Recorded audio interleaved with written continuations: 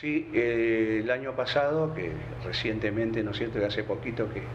ya estamos en el año nuevo, vino gente de nación y de provincia e hicimos un trabajo de relevamiento en la zona rural del departamento Comandante Fernández, donde se encontró indicios de la vinchuca, pero no, no, no de gran proporción, digamos. Y bueno, esta gente hizo todo el relevo, el relevamiento junto con nosotros, con el acompañamiento de la brigada nuestra, y a partir de ahí ellos se fueron y nos dejaron una, una ubicación donde nosotros tenemos que continuar con esa tarea, que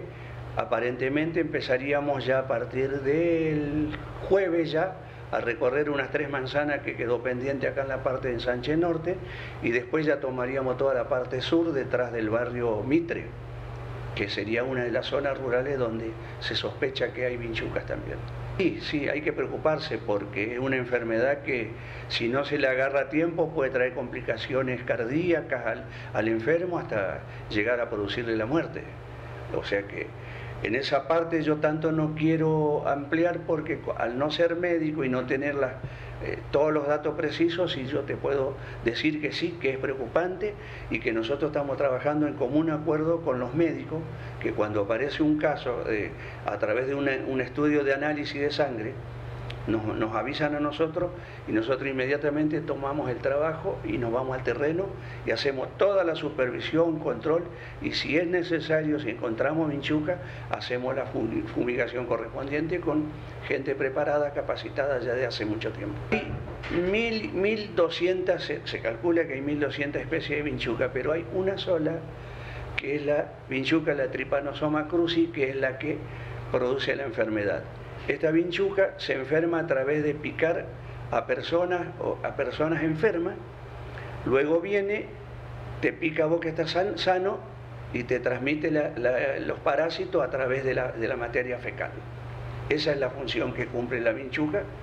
dentro de los, de los hogares fundamentalmente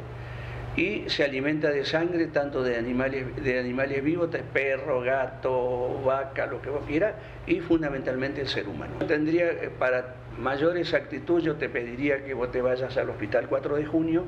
que es donde realmente va la gente ahí cuando se siente mal, cuando está descompuesta, y, y al hacerle todos los estudios de análisis clínico, ahí sale, sale si tienen chaga o no. Nosotros acá no tenemos ese laboratorio que si trabajamos en común acuerdo con el Hospital 4 de junio y con la gente de resistencia, pero a través de, los estudios de, análisis de sangre sería, Ellos nos avisan cuando hay un caso y nosotros hacemos todo el trabajo en terreno que hay que hacer. Somos el primer canal de noticias desde el interior del país. Transmite desde el histórico chalet Rapaccioli, Resistencia, Chaco, Norte Grande Federal. Somos periodismo con historia.